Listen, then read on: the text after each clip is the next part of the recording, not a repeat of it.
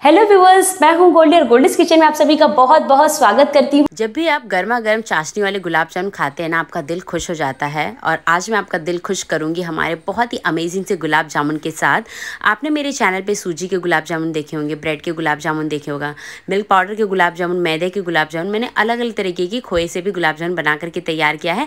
ये वाला जो गुलाब जामुन है, ये पहली बार मैं बना रही हूँ। बहुत ही इंटरेस्टिंग है गाइज़ बहुत ही सिंपल सी ये रेसिपी है, बहुत ही इंटरेस्टिंग है और फटाफट से बन जाएगी।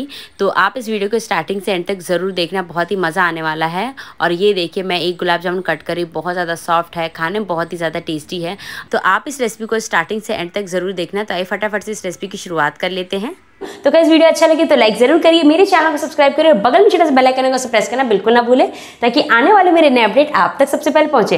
तो आइए शुरू करते हैं। तो सबसे पहले हम चाशनी बना करके तैयार करेंगे। तो चाशनी बनाने के लिए मैंने यहाँ पे एक बड़ा सा पतीला लिया है और उसमें हम डाल देंगे लगभग आधा लीटर से भी ज़्यादा पानी। तो मैंने यहाँ पे 750 ml के करीब पानी ले लिया है और अब मुझे इसमें डाल देना है लगभग 400 ग्राम के करीब चीनी। आप देख सकते हैं, मैंने पूरा डब्बा भी उठा लिया है और इसमें मैं थोड़ी सी चीनी बचा लूँगी क्योंकि मॉर्निंग में चाय बहुत ज़्यादा ज़रूरी है, उसमें चीनी भी डालना पड़ेगा। तो यहाँ पर मैंने ना पतीले में चीनी और पानी डाल दिया है और इसे अच्छी तरीके से मुझे गर्म करना है। तो फ्लेम को कर लिया है ऑन और चीनी को हमें अच्छी तरीके से घुलने तक पकने देना है। और ये जो प्रोसेस होगा, ये लगभग तीन से चार मिनट का होगा। तो तीन से चार मिनट बाद आप देख सकते हैं कि जो चीनी और पानी आपस में अच्छी तरीके से घुल गया है। तो अब मैं इसमें डाल देती हूँ थोड़ा सा केसर, ताकि वो भी इसमें अच्छी तरीके से पक जाए। तो केसर ये ऑप्शनल है, आप चाहें तो डालिए अदरवाइज़ आप स्किप कर सकते हैं। केसर डालने से ना, जो गुलाब जामुन होता है या लिंचा होता है, उसका कलर बहुत अच्छा आता है। तो लगभग हम यहाँ पर दस से 12 लच्छे हम यहाँ पर केसर के ऐड कर देंगे। और इसी के साथ साथ मैं इसमें फ्लेवर के लिए यूज़ करने वाली हूँ इलायची पाउडर तो वो मैं इसमें ऐड करूँगी, एक चौथाई चम्मच के करीब। और अब इस चाशनी को मुझे धीमी आँच पे तब तक पकने देना है, जब तक कि हल्का सा थिक नहीं हो जाता है, यानी गाढ़ा नहीं हो जाता है। और हम इसे उंगली से छू करके देखें हल्का सा चिपचिपा होना चाहिए। बहुत लोग क्या करते हैं, इसे एक तरह की चाशनी बनाते हैं, हमें इसे एक तरह की चाशनी बिल्कुल नहीं बनाना है, क्योंकि जैसे इसे ठंडा होगा ना, अपने आप ठीक हो जाएगा। तो सबसे इंपॉर्टेंट चीज़ आप चाशनी की देख सकते हैं उसका कलर चेंज हो गया है और हल्का सा ये चिपचिपा हो गया है। और इतना ही रखना है, तभी जो गुलाब जामुन है वो अच्छी तरीके से फूलेंगे कभी कभार बीच में गुठली हो जाता है, इसी वजह से एक तरह की चाशनी बिल्कुल नहीं बनाना है। तो आइए अब हम फटाफट से ना गुलाब जामुन बना लेते हैं। आप लेंचा भी बोल सकते हैं। शेप मैंने लेंचा वाला ही दिया था तो मैंने यहाँ पे बड़ा सा बर्तन ले लिया है। और अब इस थाली में ऐड करने वाली हूँ गिट्स का गुलाब जामुन का पैकेट, जो कि बहुत ही आसानी से आपको मार्केट में मिल जाता है। मार्केट में अलग अलग ब्रांड के आप गुलाब जामुन के पैकेट मिलते हैं, आप उसे यूज़ कर सकते हैं। बट मैंने तो सिर्फ़ सूजी से बनाया था, मैदे से बनाया, मिल्क पाउडर से बनाया है, ब्रेड से बनाया है। अलग अलग तरीके की मैंने गुलाब जामुन बना करके तैयार किया ये फ़र्स्ट टाइम मैंने गिट्स का यूज़ किया है। मैंने सोचा कि क्यों ना चलो देखा जाए कि इसे कैसा बनता है। तो यहाँ पर मैंने पैकेट डाल दिया इसमें और अब मुझे इसे दूध से अच्छी तरीके से गूँथना है। आप इसे पानी से भी गूँथ सकते हैं, लेकिन दूध से इसका टेस्ट बहुत अमेजिंग आता है, इसलिए मैं इसमें दूध ऐड कर रही हूँ। और ना, इसका जो डो है, वो ना तो मीडियम बनेगा, ना बहुत ज़्यादा थिक बनेगा, यानी टाइट बनेगा। इसका ना डो हम सॉफ्ट बनाएँगे। सॉफ्ट का मतलब है हल्का सा गीले टाइप का, क्योंकि जैसे जैसे ना ये ठंड मतलब जैसे जैसे ना ये रेस्ट होते जाएगा ना तो ये वैसे वैसे टाइट होते जाएगा, क्योंकि इसमें पड़ा है मिल्क पाउडर और मिल्क पाउडर वाली चीज़ें ऐसी होती है, हल्की सी टाइट हो जाती है थोड़ी थोड़ी देर बाद। तो कोशिश करें कि आप इसे हल्का सा ना गीला बनाएँ, क्योंकि बहुत लोग ना पैकेट यूज़ तो करते हैं, लेकिन उन्हें समझ में नहीं आता है कि जो इसका डो है कैसे बनाया जाए। तो यहाँ आप देख सकते हैं कि मैंने इस डो में थोड़ा सा दूध ज़्यादा डाला है, ताकि हल्का सा गीला हो जाए, और आप देख सकते हैं हाथों पर काफ़ी स्टिकी हो रहा है एंड चिपक रहा है। तो बहुत लोग क्या करते हैं ना, हाथों पे घी लगाते हैं बट घी आप बिल्कुल मत लगाना। जब आप इसे राउंड शेप देंगे या इसे ओवल शेप देंगे ना तो ये हल्का सा ना उसमें दरार पड़ जाएँगी तो ऐसा बिल्कुल नहीं करना है। आप उसमें हाथों से ही लेकर के इसे ऐसा करना है। तो डो हमारा रेडी है ऑलमोस्ट ये देखिए एकदम परफेक्ट हल्का सा मैंने मसल रही हूँ इसे, ताकि अच्छा इसका टेक्स्चर हो जाए। तो ये देखिए, डो हमारा रेडी हो चुका है, और अब मैं फटाफट से ना इसे गुलाब जामुन का बनाना है तो गुलाब जामुन बनाइए, लेंचा बनाना है तो लेंचा बनाइए। तो मैंने मिक्सर में से थोड़ा सा मिक्सर ले लिया है ये देखिए, कितना ज़्यादा गीला है ना, ऐसा मिक्सचर रखना है।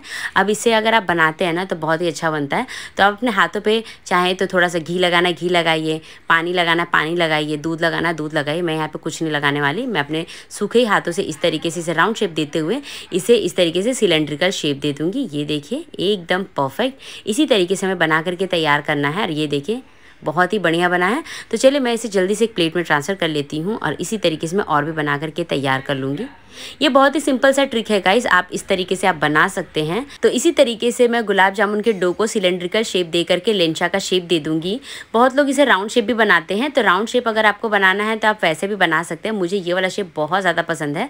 तो ये देखिए, इसी तरीके से ना हम थोड़ा थोड़ा करके इसे तैयार कर लेंगे। तो लीजिए, हमने यहाँ पे डो को एकदम अच्छा सिलेंड्रिकल शेप दे दिया है। तो अब बारी है इसे फ्राई करने की। और इस लेंचा को फ्राई भी कैसे करना है, इसका मैं आपको सही तरीका बताऊँगी। तो चलिए फटाफट से अब बारी है फ्राई करने की। तो फ्राई करने के लिए मैंने यहाँ पे ले लिया एक नॉनस्टिक पैन। आप यहाँ पे एलमिनियम की कढ़ाई का इस्तेमाल भी कर सकते हैं। मैंने नॉनस्टिक कढ़ाई का इस्तेमाल किया है। फ्लेम को करेंगे ऑन और इसमें हम डाल देंगे ऑयल। हमने यहाँ पे सोयाबीन ऑयल का इस्तेमाल किया है।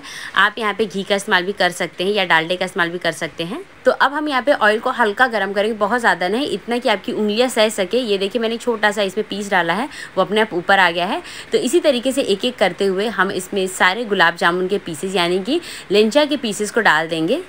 एकदम परफेक्ट और थोड़ी देर बाद आप देखेंगे ना ये अपने आप नीचे तले को छोड़ करके ऊपर आ जाएगा। ये देखिए एकदम परफेक्ट इस तरीके से फूल जाएगा। तो अब मैं स्पून के सहारे इसे अच्छी तरीके से एकदम हल, हल्के हाथों से फ्लिप करते हुए हमें इसे अच्छी तरीके से पकने देना है। फ्लेम को हमने यहाँ पे स्लो ही रखा है और धीरे धीरे करते हुए हम इसे हल्का हल्का फ्लिप करते हुए इसे पकने देंगे। कभी कभार क्या होता है ना अपने आप पलट जाता है। तो ये भी बहुत अच्छा इंडिकेशन है। हमारे गुलाब जामुन अच्छे पक रहे हैं। तो ये देखिए एकदम परफेक्ट इसका कलर आ गया है। इसी तरीके से हमें डार्क करना था। अगर आप यहाँ पे काला जाम बनाना चाहते हैं ना तो आप दो मिनट के लिए फ्लेम को हाई कर दीजिए और इसे पकने दीजिए। उसके बाद फ्लेम को ऑफ़ कर दीजिए। बहुत ही आसानी से आप काला जाम बना करके तैयार कर सकते हैं। तो ये देखिए, हम यहाँ पे बना रहे हैं गुलाब जामुन या फिर आप लेंचा भी बोल सकते हैं। तो चलिए, अब इस स्टेज में फ्लेम को करूँगी ऑफ़, क्योंकि हमें इसे अब नहीं पकाना है, वरना बहुत ज़्यादा डार्क हो जाएगा। और जब हम इसे कढ़ाई में से बाहर निकालेंगे ना, तब भी इसका कुकिंग प्रोसेस स्टार्ट रहेगा। तो चलिए, फटाफट से ना, मैं इसे कढ़ाई में से बाहर निकालते हुए इसे एक प्लेट में ट्रांसफ़र कर लेती हूँ।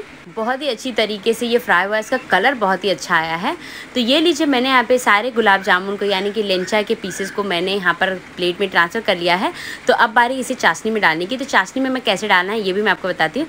चाशनी है, वो हमारी हल्की गर्म है। अगर आपकी चाशनी ठंडी हो गई हो तो आप उसे हल्का गर्म कर लीजिए। फिर आप उसमें इनके पीसेस को ऐड करिए। एकदम परफेक्ट और अब मुझे इसे ढक करके लगभग आधे से एक घंटे के लिए छोड़ देना है। जब ये गुलाब जामुन जब ये चाशनी गर्म होगी ना तो आधा घंटा लगेगा और चाशनी गर्म नहीं होगी तो लगभग दो घंटे भी लग सकते हैं। तो यहाँ पर आप देख सकते हैं। अच्छी तरीके से गर्म है। तो मैं इसे आधे घंटे बाद चेक करके दिखाऊँगी। सो फाइनली आधे घंटे हो चुके हैं और आप देख सकते हैं गुलाब जामुन कितना ज़्यादा टेस्टी दिख रहा है। जो चाशनी है वो कम हो गई है और जो गुलाब जामुन है वो अच्छी तरीके से फूल गए हैं। आप लेंचा भी बोल सकते हैं इसे गाइज़ तो चलिए फटाफट से ना अब मैं इसे एक बर्तन में ट्रांसफ़र करती हूँ और फटाफट से ना मैं आपको इसे कट करके भी दिखाऊँगी और खा करके भी दिखाऊँगी। वाह बहुत ही अमेजिंग इसका रिज़ल्ट आया है। मैंने फ़र्स्ट टाइम गिट्स के पैकेट का इस्तेमाल किया है और बहुत ही अच्छा बन करके तैयार हुआ है। एकदम परफेक्ट तो चलिए इसके ऊपर थोड़ी सी चाशनी डाल देते हैं। और इसे थोड़ा सा हम गार्निश करेंगे रोज़ पेटल और सिल्वर बॉल के साथ। आप पिस्ता के साथ भी इसे गार्निश कर सकते हैं। और अब मैं एक लेंचा को कट करके दिखा रही हूँ और ये देखिएगा इस वाह बहुत ही अच्छे से फूला है, बिल्कुल कोई गुठली नहीं है, बहुत ही सॉफ्ट बना है। खाने में बहुत ज़्यादा अमेजिंग है। तो गाइस ना, आप भी गिट्स के पैकेट का अगर इस्तेमाल करना चाहते हैं तो आप बना सकते हैं या फिर आप सूजी से ब्रेड से मिल्क पाउडर से भी गुलाब जामुन अपने घर पे बना सकते हैं। लेकिन सबसे बेस्ट होता है खोए का गुलाब जामुन। सो गाइस आप इस रेसिपी को ज़रूर ट्राई करिए और कॉमेंट सेक्शन में लिख करके बताना कि आपको रेसिपी कैसी कैसी लगी आप उसकी पिक ना ट्राई करने के बाद इंस्टाग्राम पर मुझे टैग भी कर सकते हैं। वीडियो पसंद आने पर एक लाइक ज़रूर दे दीजिए। मेरे चैनल को सब्सक्राइब करिए बगल में छोटा बेल आइकन उसे प्रेस करना बिल्कुल ना भूले, ताकि आने वाले मेरे नए अपडेट आप तक सबसे पहले पहुँचे। Thank you for watching Goldi's kitchen bye friends मैं जल्दी मिलूँगी आपके लिए और भी नई नई इंटरेस्टिंग सी रेसिपी लेकर के। तब तक के लिए मैं इंजॉय करती हूँ और आप देखते रहे गोल्डिस किचन बाय